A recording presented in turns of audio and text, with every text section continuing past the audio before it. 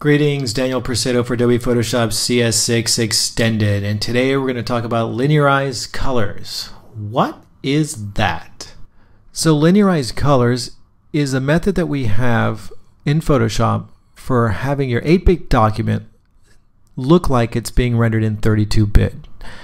Now what do I mean by that? So let's have a look at this document. This document is currently at 8 bits the materials here, if you do a rollover on your layers panel, you'll see the material. It's a 32-bit color. It's a 32-bit document. All these documents are 32-bit. And so it's currently rendering like this without linearized color checked.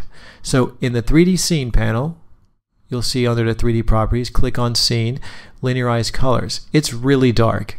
And it basically what's happening is the 32-bit colors are being clamped at 8-bit. It is just, you're losing a lot of color data there. But we can simulate it by clicking on linearized colors. And now, this looks a lot closer to our render.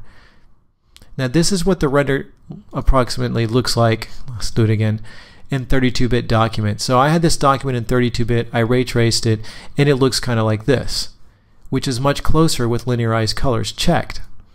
If linearized colors again is not checked, you're going to lose a lot of color coming from those 32-bit materials. And it's going to get in this way it's going to get clamped. A lot of those colors are lost and it just it looks dark here.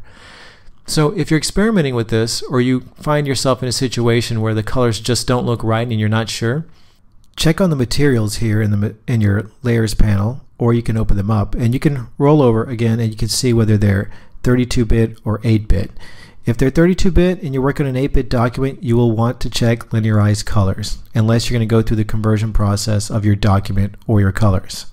So I hope this clears things up a little bit. If not, feel free to add, ask a question, add a comment, and uh, I will get to them as quick as I can. Thanks.